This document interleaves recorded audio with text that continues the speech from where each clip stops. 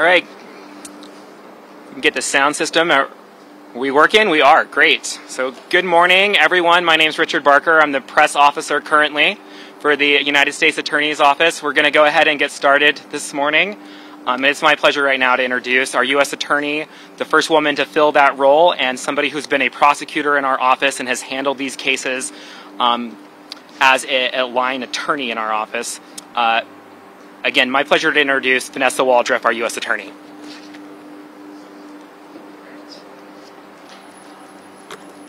Thank you, Rich. And thank you all for being here on this crisp morning.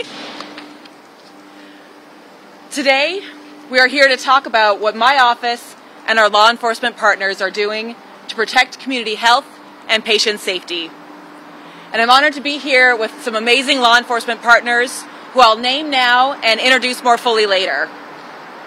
I have Assistant United States Attorney Tyler Tornabene, Assistant United States Attorney Dan Fruchter, Assistant Attorney General Doug Bowling, Larissa Payne, the Director of the Washington Attorney General Medicaid Fraud Control Division, Cody Raysinger, Special Agent with Health and Human Services Office of Inspector General, Special Agent Leonard Russo, also from Health and Human Services Office of Inspector General, Special Agent Mark Pellegrino, Office of Personnel Management, Office of Inspector General, and Derek Lindbaum, Special Agent with the Defense Criminal Investigative Service.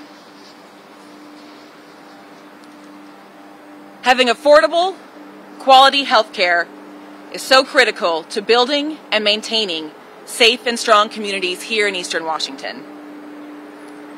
Each one of us has had times where we have depended on healthcare professionals to deliver affordable, quality, and medically appropriate care. We need to trust our doctors and our hospitals.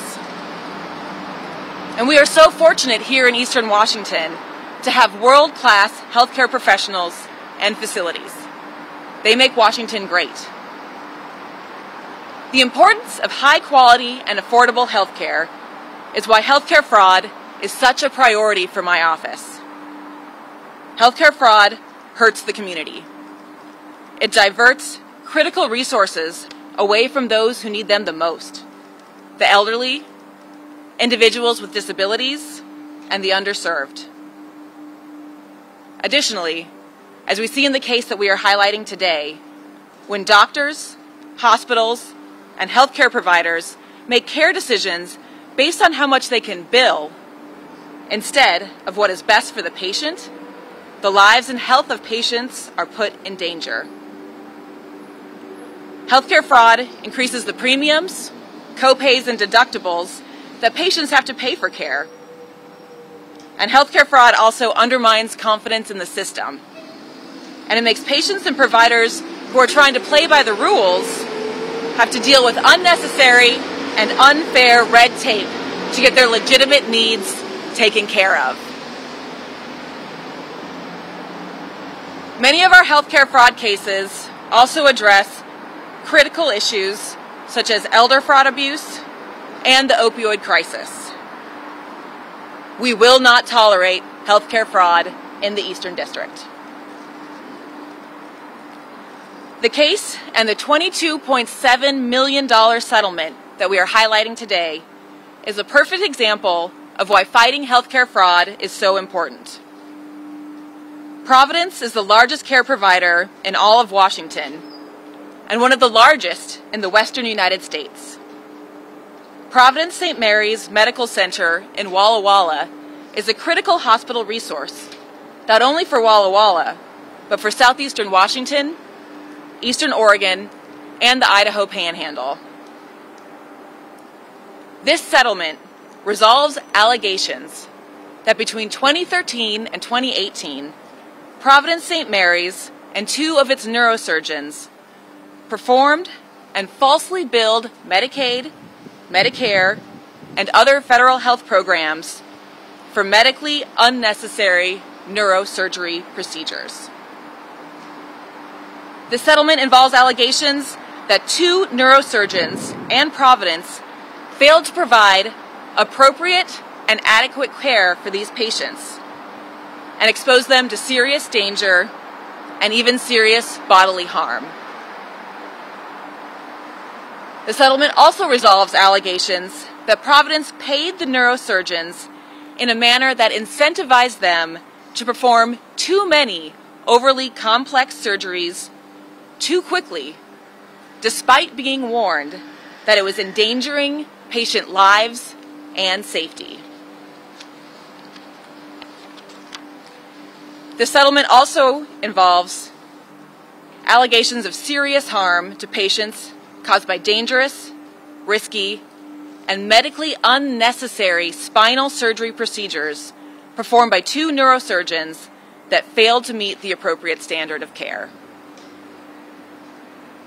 Some of the St. Mary's patients that the neurosurgeons operated on are here in attendance today, and I am so appreciative of that. There are other patients who desperately wanted to be in attendance today, but are simply too injured to make the trip in their current condition, and so others are here in their stead. I want to especially recognize the courage and determination of these and other patients and the hurt and the pain that they have experienced. They are a crucial reminder of how healthcare fraud is not about numbers on a ledger or dollars in a bank account, but it undermines the strength and safety of our communities. It hurts our neighbors, our relatives, our coworkers, and friends. My office will continually, aggressively pursue healthcare fraud with that simple but important reminder as our lodestar. Today's settlement of nearly $22.7 million is the largest ever healthcare fraud settlement in the Eastern District of Washington. But what makes this case and this resolution significant is not just the money. The most important aspect is the critical impact on patient safety and the fact that through this investigation and resolution, we have been able to protect our community from danger and harm in the future. I also want to focus on five additional reasons I think this case is so important. First, acceptance of responsibility. Second, corrective action. Third, cooperation. Fourth, the critical role of whistleblowers. And fifth, well, we couldn't do this without our very important law enforcement partnerships. So, first, I'll talk about admission and acceptance of responsibility. Our office was not comfortable with permitting Providence to simply deny everything, cut a check, and walk away.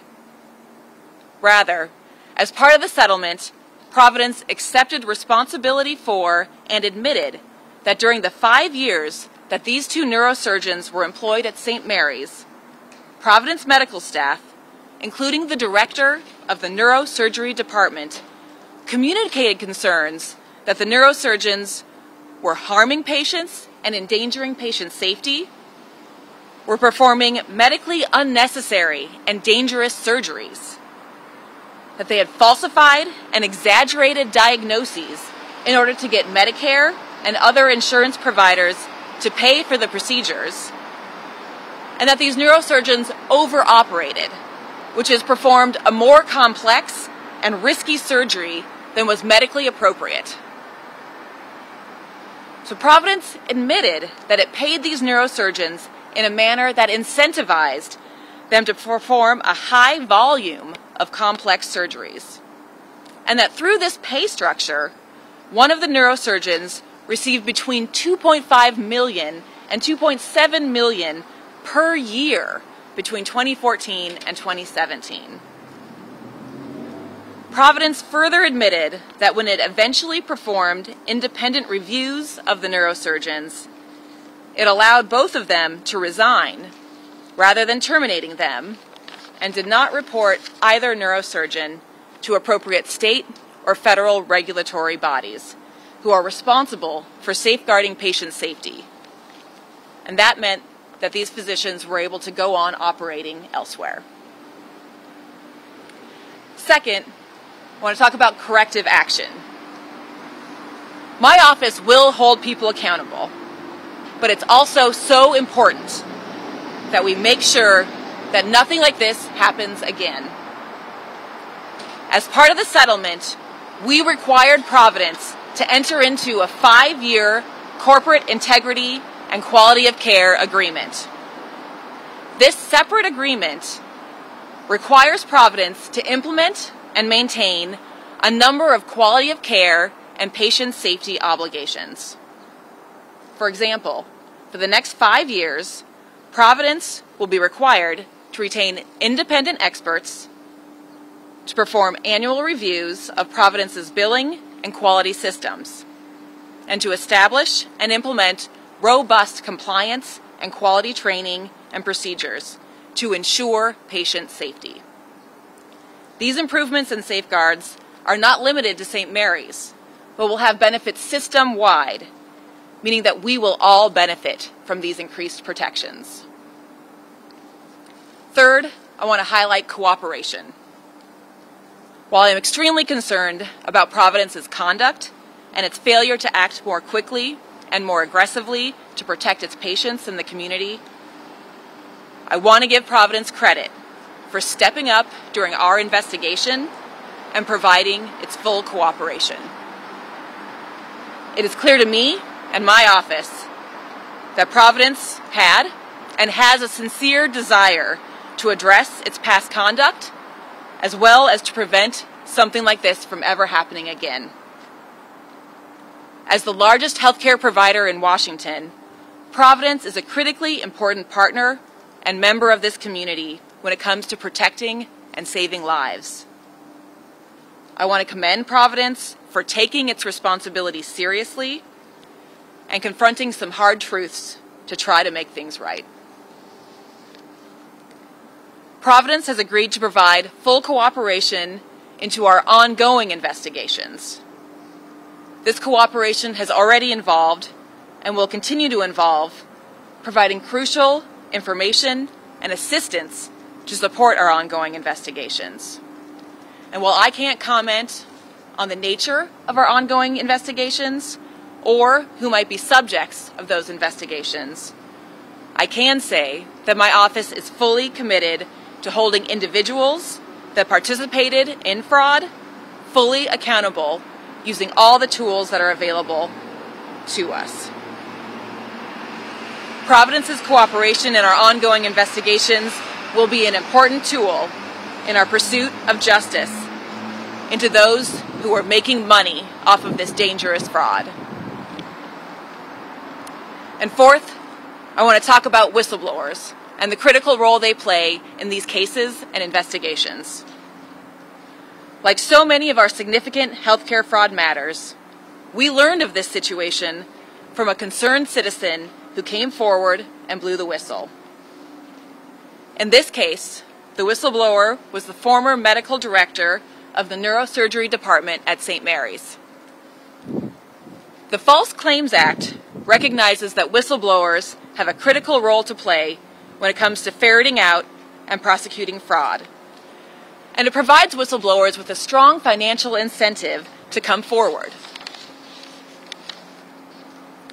In this case, as the False Claims Act provides, the whistleblower, the whistleblower will receive over $4 million of the settlement amount. For our hundreds of thousands of healthcare workers here in the Eastern District of Washington, if you have seen practices that you are not comfortable with, and if you believe that you have information about fraud or patient harm or abuse, we are listening. And we will pursue your information aggressively, and we will protect your identity until our investigation is complete. We will continue to work closely with brave whistleblowers to hold healthcare fraudsters accountable. Those who believe they have information about healthcare fraud can report it online to Health and Human Services OIG at oig.hhs.gov. Or you can file a whistleblower complaint under the False Claims Act, and we encourage you to do so. We need your courage, your expertise, and your truth to hold fraudsters accountable and keep our communities safe. And fifth, I want to commend our law enforcement partnerships. While my office has made healthcare fraud an important priority, we are not doing it and we cannot do it alone. We are so blessed to have such wonderful law enforcement partner, partners in our critical healthcare fraud work. We work hand in glove with these agencies in the Providence case, and I am so glad that they are able to join us here today. So first, I want to commend our state partners at the Washington State Medicaid Fraud Control Division. The Medicaid Fraud Control Division is part of Attorney General Bob Ferguson's office, and we are incredibly fortunate to have their strong support and partnership in this and other critical cases. In a few moments, you will hear from Larissa Payne, the director of the Medicaid Fraud Control Division in the Attorney General's office. In cases like this, involving fraud or abuse involving Medicaid, we work closely with Larissa's team at the Medicaid Fraud Control Division to leverage all the tools that the state and the United States have to fight fraud. In this case, we were especially fortunate to work with Assistant Attorney General Jeremy Kelly, based right here in Spokane, and I want to thank Attorney General Ferguson and Director Payne for their support and partnership. Second, the United States Department of Health and Human Services Office of Inspector General investigates fraud, waste, and abuse involving Medicaid and Medicare. In this case, we were incredibly fortunate to have not one, but two exceptional agents Special Agent Len Russo and Cody Raysinger with the Seattle Field Office. I want to recognize and thank both of them, as well as Assistant Special Agent in Charge Jeff McIntosh of the Seattle Field Office, for their outstanding support and partnership in so many important cases. Third, we also had the Office of Personnel Management, Office of Inspector General. This OIG office investigates cases involving healthcare programs that cover federal civilian employees. And we were very fortunate to have Special Agent Mark Pellegrino of the Western Regional Office on this case. His interviewing and investigative skills were an incredible benefit to the investigation. And fourth, we had the defensive, excuse me, the Defense Criminal Investigative Service, which investigates cases involving the TRICARE program, a health insurance program that covers military employees and retirees and their families. Our team was so fortunate to have two great agents from DCIS during the investigation. Chris Somboom, who is now the resident agent in charge of the Seattle field office and the Portland office. Whew, my notes and Special Agent Derek Lindbaum, who we've worked with on a number of important cases. I want to thank Chris and Derek for their exceptional support and work on this case and other cases. And last but not least, our investigation benefited greatly from logistical support provided by the Walla Walla Police Department in a number of important respects. I want to thank outgoing Chief Scott Bieber for that support over a long investigation that took our agents and attorneys far from home on many occasions. This case is important, but it is only part of the essential work that we are doing to fight healthcare fraud here in Eastern Washington. Over the past five years, the office has greatly expanded its healthcare fraud practice. My Deputy Criminal Chief Dan Fruchter and Affirmative Civil Enforcement Coordinator Tyler Tornabene have been incredible leaders in my office to build our dynamic fraud practice. We have added attorneys and technical staff, strengthened and expanded our partnerships, and directly engaged with the community to expand our footprint and develop new cases. As demonstrated by this case and others, we are doing good work, but there is much work still to be done. We will continue to work with our federal, state, local, tribal, and community partners to vigorously pursue healthcare fraud in Eastern Washington and to build a safe and strong community right here. So I want to now introduce Larissa Payne, the director of the Medicaid Fraud Control Division. Larissa has been with Mufuku since uh, 2016, and she previously worked in New York combating healthcare fraud there. She has a background with the JAG Corps, and we are very fortunate to have her as an incredible partner here in Washington State.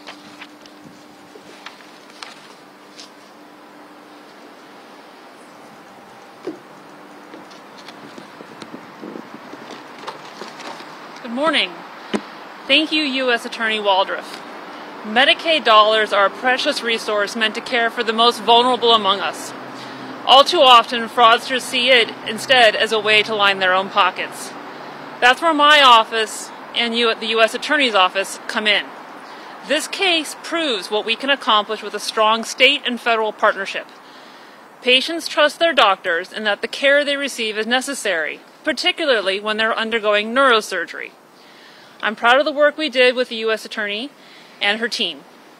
I want to thank my team who worked tirelessly on this case. I'm joined today by Assistant Attorney General Doug Bowling, and I want to recognize the rest of the Medicaid fraud team. Forensic analyst Tobias Moss and David McDonald, Assistant Attorney Generals Jeremy Kelly and Matt Keene, Special Agents Clay Coward and Scott Tollickson, clinical healthcare investigators Robert Jones and Jody Wattier, paralegal Cindy Burke, and professional staff Don Weisner, Julie Vetter, and Kim Sobel. They put in more than a they put in more than 100 hours and provided extremely technical analysis that was critical to the case. This case came about as a result of a whistleblower coming forward. Because one person decided to do the right thing, millions of Medicaid dollars will be protected. I encourage anyone who suspects Medicaid fraud or abuse in Washington to contact my office at 360 586 8888 or Mufuku Referrals, MFCU Referrals, at atg.wa.gov. I look forward to continuing to work with U.S. Attorney to combat Medicaid fraud and abuse in Washington. And now, the U.S. Attorney.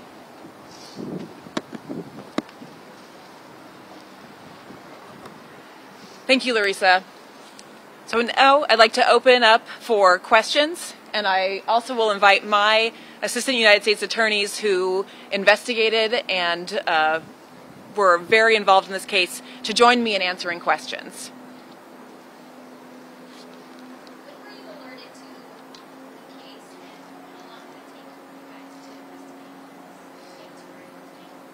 Yeah, so this case was brought by a whistleblower uh, under the False Claims Act. So that was a filing of a qui tam complaint. And I might pull in my experts on this one in terms of the actual precise timing. Uh, thanks, Vanessa. Uh, the, the, case was first filed in February of 2020, uh, and we started our investigation as soon as the case was filed. We were slowed down a little bit by COVID, which of course uh, started right after that, but we were able to expeditiously investigate uh, the case uh, since that time.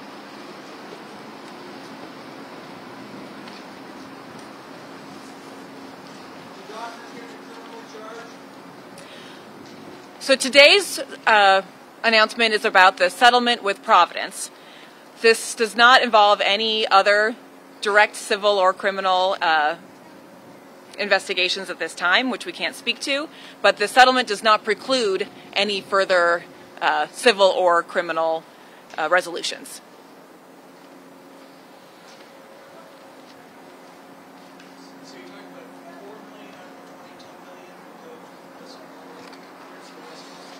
Good question. So about 4 million will go to the whistleblower as provided by the False Claims Act. About 10 million of the settlement amount is designated as restitution, and that means that it will go back to the programs uh, where it was taken from. So Medicaid, Medicare, and other uh, federal programs. So that's about half of the funds will go back as restitution About 4 million will go to the whistleblower, and the remainder of the recovery goes to the federal treasury with about a 3% portion allocated to further enforcement efforts. And historically, this allocation, this 3% allocation of our recovery in the Eastern District of Washington has been larger than the entire budget of the office, which reflects the value of this program from both the monetary perspective and an enforcement perspective. We have a, a virtual feed that's going as well, and there's some questions there. Did Providence management know what was going on? Yes.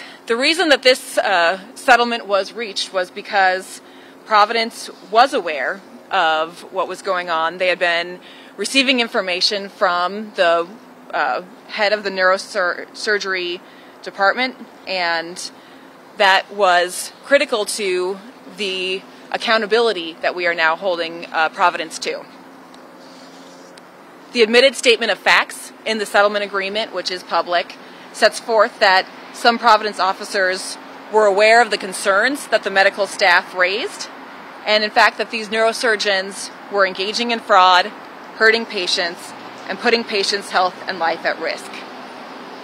Providence also received, you know, mixed feedback about these neurosurgeons, but that information were red flags, and we reached this resolution because Providence should have worked faster and done more to keep our patients safe.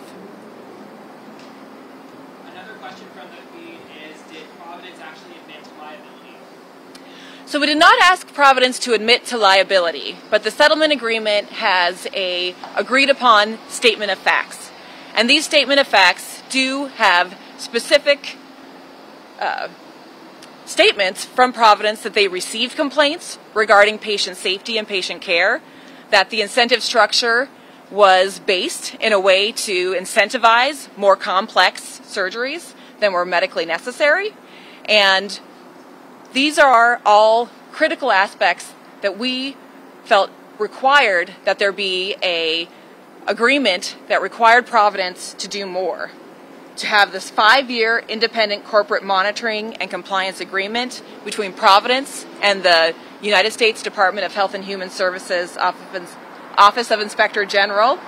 And under that agreement, Providence will be required to implement a more robust quality care program, and that includes training and employing personnel specifically designated to ensure compliance and patient care so that we can make sure that this doesn't happen again. Do we know how many patients were affected? Hundreds. Yeah. Hundreds.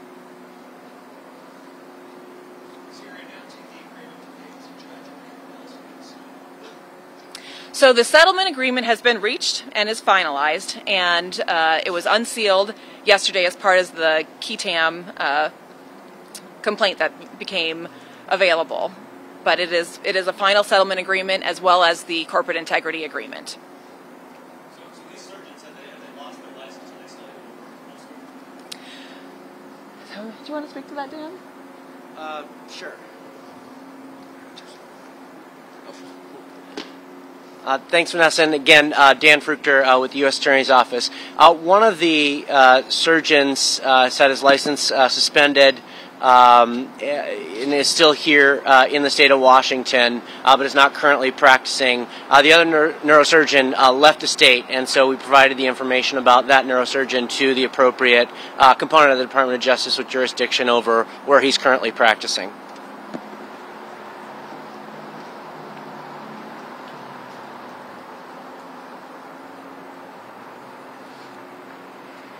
Well, thank you all for being here. I know my hands are very cold, so I appreciate everyone who's been able to hang out with us for this special time.